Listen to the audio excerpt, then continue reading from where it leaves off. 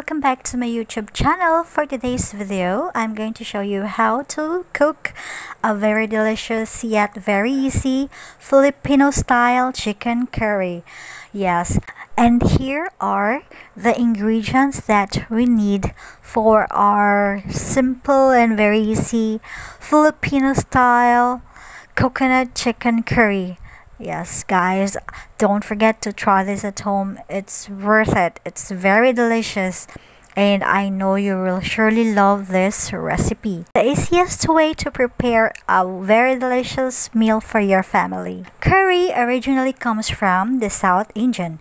Curry, which means sauce. Curry powder consists of turmeric, seed, cumin seeds, coriander seeds, mustard seeds, and five spice powder consist of cardamom, cinnamon, black pepper, bay leaf, and cumin, and red chili powder.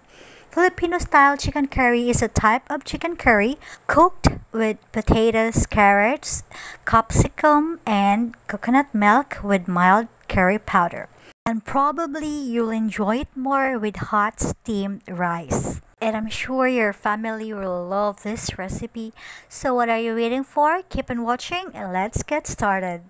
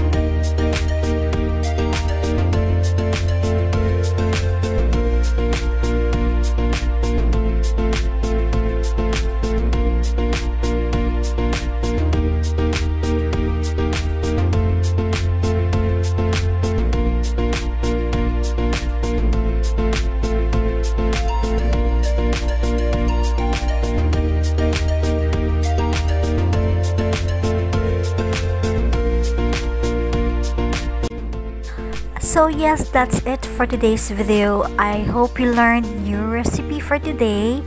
And thank you so much for watching guys. And please don't forget to like and subscribe and hit the notification bell for more updated videos. See you in my next video.